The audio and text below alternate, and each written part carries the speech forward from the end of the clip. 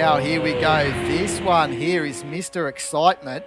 If you didn't see his qualifying lap, guys, wait till you see the top 10 shootout lap. He had the crowd in all types of uh, cheering. He had it sideways. He was pulling the handbrake. The only thing he wasn't doing was throwing lollies out of the car.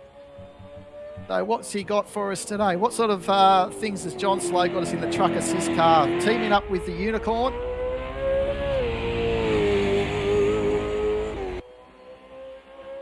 He starts this lap, so he hasn't got too much to go. Now, I should say we don't have many more to go now as we going through this order. We're going through fairly fast. After John, we've got the top three. We've got Ashley Cucci next and Sato 15 and then Gun 180. Been fastest all weekend along with his teammate Longy. But it's all about John Slow at the moment. He's keeping it side. I mean, not keeping it side. He's keeping it straight compared to sideways that we saw him qualifying at this stage. Look at the flames coming out of the truck assist car.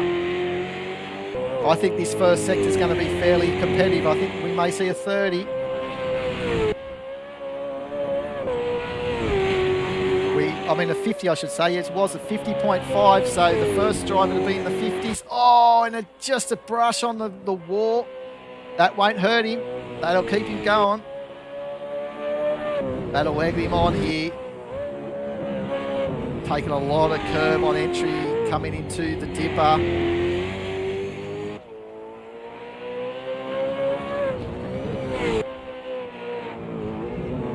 this is looking good for John Slow at the moment. Gets it turned in on a beautiful exit of uh, the Forest Elbow with a 31.6, so he's on par in the second sector for most of these drivers.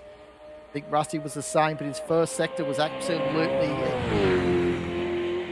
very, very fast. It was blistering pace from John Slow.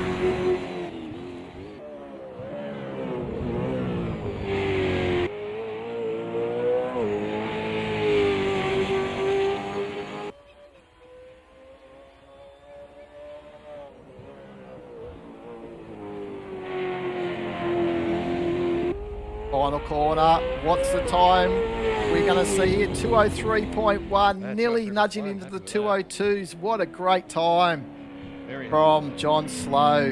He'll be happy with that.